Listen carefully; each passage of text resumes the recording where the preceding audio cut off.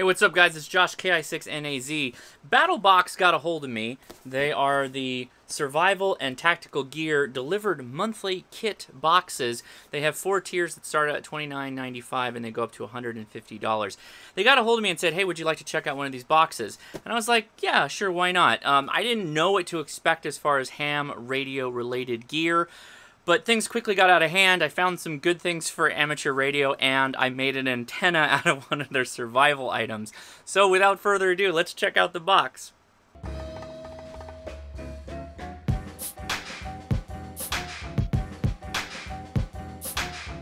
And if you are interested, the link will be in the description if you'd like to try out a subscription to BattleBox yourself.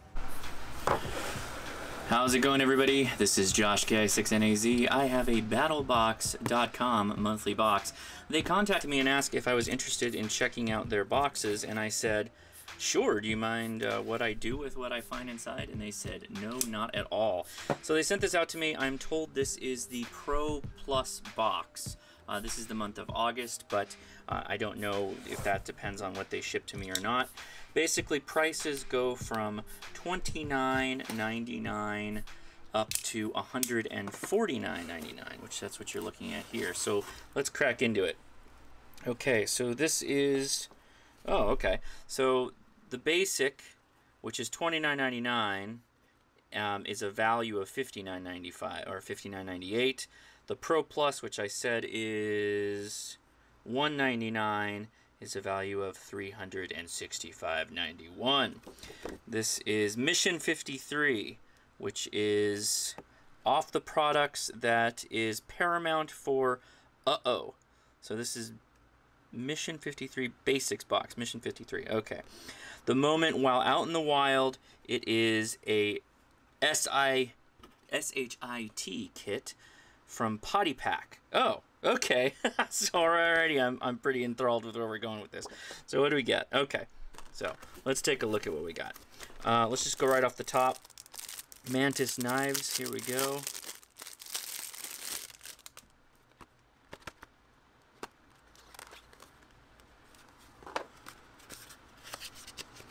Ooh. That's interesting. Doesn't have a doesn't have a thumb nick. Ah, yes, it's a switch. There's actually a switch.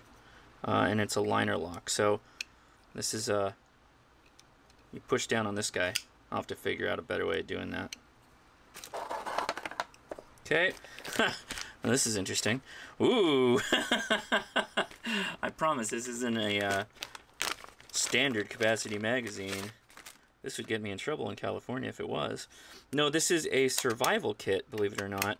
Um, although I think that is actually a 556 uh, standard, or uh, sorry, short capacity mag on the bottom. I'm sorry, on the top. And this is a survival kit on the bottom. And I believe... Okay, I'll figure that out in a second come back to you. This is a field toilet wiper. There's also another one of these. So single use potty packs. Line 9. This is a cool bag. I'm going to use this for something. Oh, oh, oh, oh, oh, oh. I am going to use this. This is a, a, a bowl, like a waterproof bowl of some kind. That's pretty cool, though. I could imagine actually uh, using this for a throw bag, having throw line in here. Uh, that's pretty handy, actually. Yeah, so you could take this and put your throw line in it with your throw weight. You'd have to use some pretty thin stuff, um, or not take a lot of it, and then you can take it and fold it up. Although there doesn't have a lot of space in there. I'm going to have to try that out after. And then you zip it up closed. That's pretty cool. Bushcraft rope lighter. oh, this is cool. Hey. Yeah, yeah, yeah, yeah, yeah. I know how these work, actually. Um, I learned how this works from Cutlery Lover, believe it or not. Friend of the channel, Cutlery Lover. Yeah, I'll get back to this one, too. Let's come back to that in a second. That's cool, though. That's super cool. These are the old uh, style lighters that they used to use in uh, the trenches and whatnot. Ooh, waterproof pouches. I can also use these. Very cool. Yeah, so these have all kinds of practical uses for amateur radio. Waterproof anything, right? And these are roll top kind, so you basically start out here, begin rolling, right? You want to get your waterproof seal, begin rolling, and then seal them, and there you go. Then that makes a nice little uh, open from center. Do not pull the sides. That's good to know. Oh yeah, that's pretty strong Velcro too. Cool. All right. And then let's take a look. What is this? Oh, this is the multi-tool. Oh, okay, okay, okay, okay. Uh, retainer clip slash multi-tool. So that is the retaining clip. I've got to figure out how to open that. And then last we have a knife from Gerber here. I've been known to carry a Gerber knife now and then.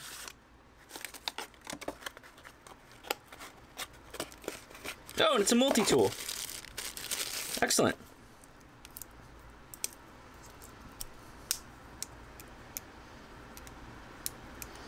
That's not so bad. Normally with the uh, the Leatherman type, if they don't round the edges here, you kind of squeeze your hand.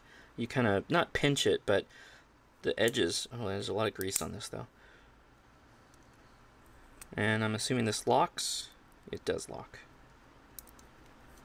Cool. Okay. So let's uh, let's take a look at that survival kit now that I know I'm supposed to move that. Well, I, I like it when YouTube videos uh, basically kind of tell you exactly what you're feeling is that this is kind of hard to open.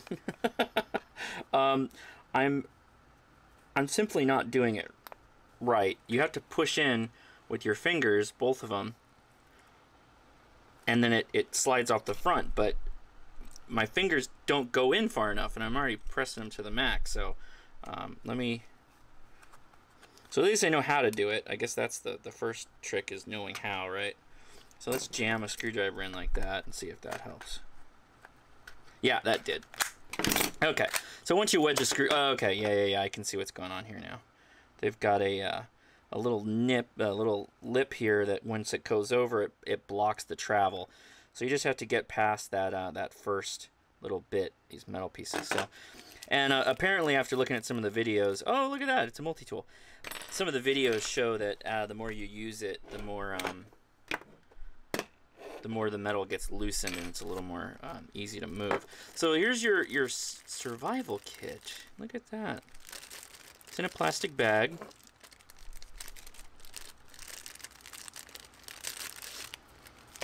This is a credit card survival tool. It's got a saw, a couple of sharp edges, cap lifter, a wrench, smaller wrench, a pry bar of sorts, and there's usually some kind of instructions in there. Yep, that's what's in there.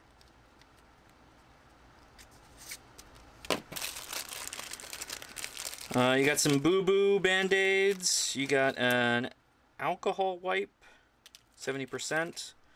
A bubble compass, which seems to be doing alright. Bubble compasses can be somewhat problematic. This one's doing great though. Uh, ooh, the this is supposed to be a saw, which if you've ever used one of these before, they are very problematic. But, hmm, let's come back to that. That is a tiny ferrocerium rod and a bunch of uh, safety clips and one paper clip.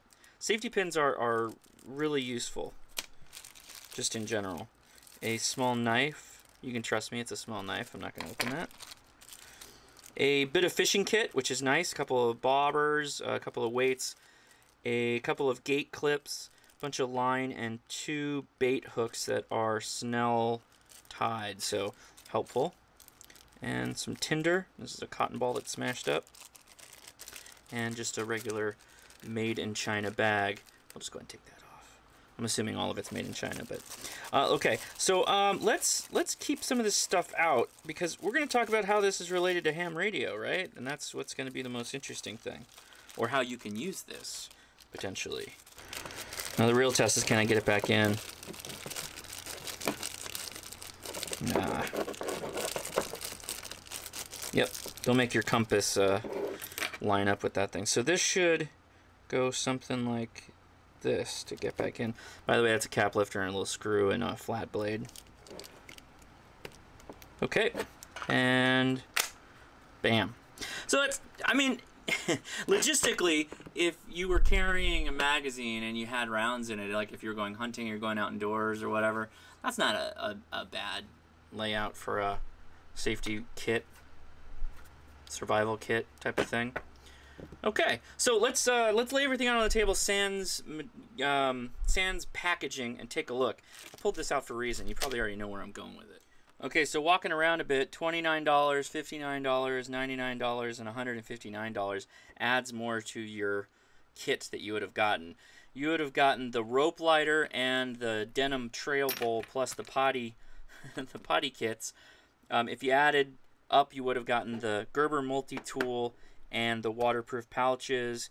You would have gotten the magazine if you went to $99 value, and you would get the knife of the month which is the mantis knife um, if you had gone up from there. So just on a lark, I went and looked this up on eBay. Um, or just on the internet, I wanted to see where I could what I could buy it and how much it went for, and it looks like the, it's only available on eBay. And yeah, it goes from like 160 bucks for this knife is is what it's going for on eBay. So, you know, let that. I don't know what that'll tell you, but if you wanted to look that up, that is the Mantis Knives Gearhead, black wash, and copper with drop point, or it's a drop point blade. Okay. So, um, again, what can we use in ham radio? Well, lighters are great.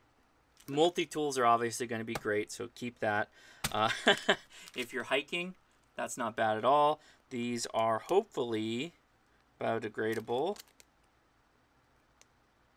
Oh, uh, toilet wipe, wet wipe, disposal bag, and a hand sanitizer. So I guess they're not biodegradable. So you got to pack out your your stuff, which, okay, whatever. Um, waterproof bags, obviously ham radio related. You could put your phone, your tablet, even your radio. In fact, um, I'm not going to leave my KX2 in a bag like this, or maybe I'll put it in one, but you can easily fit a radio in there. I could probably even fold this up and fit it back in its um, its bag that I normally carry it in. So yeah, that that's still something you can do. So waterproof bags are a good idea. But then I got to thinking, well, we've got this saw, quote unquote saw here. And what this is, is really aggressive wire. And I started thinking, you know, you could use this as a snare wire. A lot of people have talked about that. And it's not very long, but it is twisted. And I see three strands of wires. Let me do a quick measurement really quick and see how long this is um, from a wire standpoint.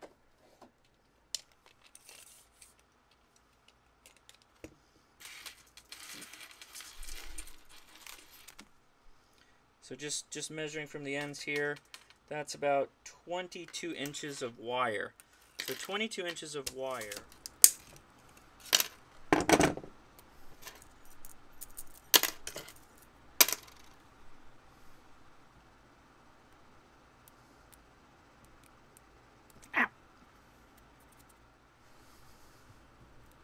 if you were in a survival situation, you would be doing this with patience and serene faith that you would be able to use your radio to call for help, wouldn't you? Every time I've complained about uh, making a Cat 5 cable, never again. never again. This stuff is horrible.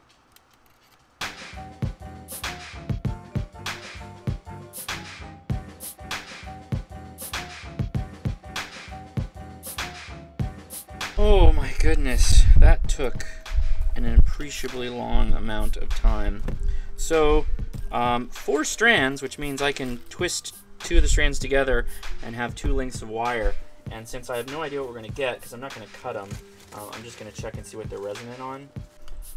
So in what took way too many adapters, I can't believe I don't have just a straight um, PL259 to, what is this, female? Yeah, female BNC. I don't know why I don't have that. But anyway, we've got a BNC breakout, um, and I've made a dipole, basically, out of two strands of the saw wire. I have two more in case I need to lengthen it. But we're just going to run this real quick against two meters and see what we've got. We're going to stretch this out a little bit. Get this other stuff out of the way. Try to get these connected on non-metallic things. Um, but, you know, we're going to do our best. So hold on. We have something. Let's do a scan SWR. Zero. We're going to go two meters.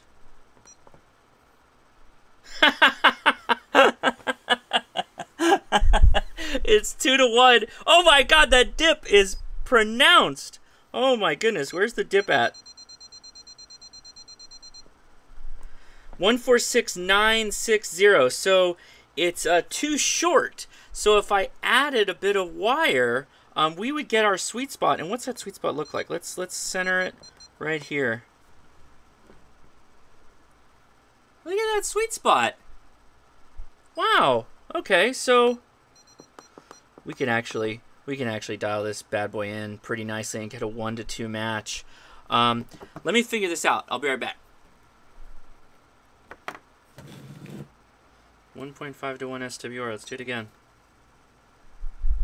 It's going to move a little bit as I get closer to the metallic objects, but that's 2 to 1. Um, let's... Uh, there we go. 520, right in the middle, pretty much. Uh, or 146520 is the calling frequency. But right now we're on a dipole, and a dipole is going to only work with um, people that are also using dipoles and using something other than um, FM. Well, it'll work with FM too, but largely people that are using dipoles or horizontally polarized antennas, this will work with. So we just made an antenna uh, out of a survival saw, thanks to BattleBox. So hey, you never know what you're capable of doing if you needed to in an emergency situation, right?